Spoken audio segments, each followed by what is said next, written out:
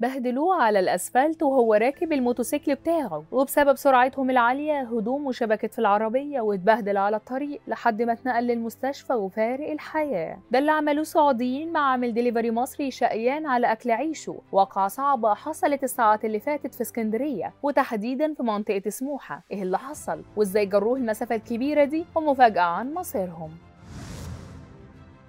دايما يتقال يا غريب كن أديب وبالنسبة للمصريين في الغربة ماشيين جنب الحيط واللي بيخالف قانون ولا يرتكب أي واقعة بيكون ليه عقوبات صارمة ومستقبله بيضيع. لكن اللي هنا في مصر من سعوديين المتهمين يقال أربع سعوديين. المتهمين يقالوا إنهم أربع سعوديين وفي اللي يقول اتنين. هما اللي عملوا كده في عامل دليفري شاب زي الورد اسمه أحمد سعيد. راح عمره بسبب تصرفاتهم وسرعتهم الجنونية. خناقة كانت السبب في رحيل أحمد والغريب إن أحمد ما كانش ليه علاقة تماما باللي حصل. كل اللي حصل إن السعوديين دول كانوا راكبين عربيتهم الفخمة الكبيرة. وانتشرت ليهم فيديوهات وهم في خناقة مع سواق تاكسي. والناس اتلمت وكان في حالة من الهرج والمرج كبير جدا في منطقة سموحة في اسكندرية. السعوديين دول كانوا بيحاولوا يخرجوا من بين الزحمة وهم بيتحركوا سرعتهم كانت عالية جدا. برغم إن كان قدامهم عربية راكنة جنب الرصيف ولكن هم كانوا فوق الرصيف وعدوا من جنب العربية. في اللحظة دي شالوا أحمد بالموتوسيكل بتاعه وجروه بالعربية. وهو متعلق من هدومه على الأسفلت مسافة حوالي 200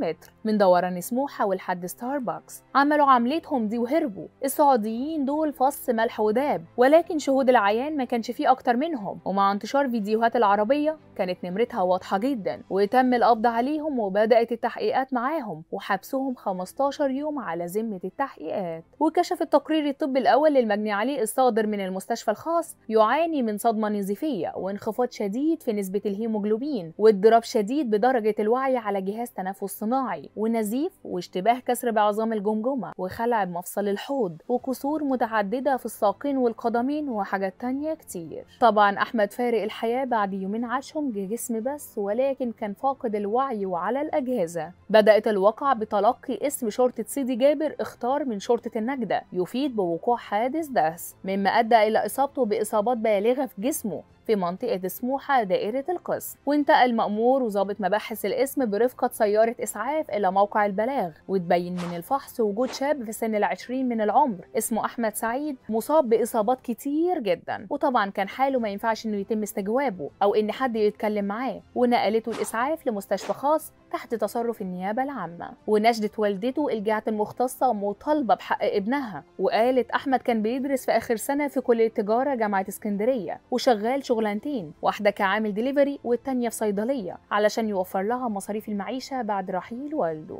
وتحولت صفحات ال social media لدفتر عزاء. والكل حزن عليه. اللي يعرفه واللي ما يعرفوش. وفعلوا هاشتاج حق أحمد سعيد لازم يرجع. وخرجوا بالموتوسيكلات يودعوه في جنازته. أنتوا كمان ساعدوا إن حق أحمد يرجع. وفعلوا الهاشتاج على نطاق أوسع علشان يتم معاقبتهم في أسرع وقت. ربنا يرحم أحمد ويصبر أهله. ادعوا له بالرحمة.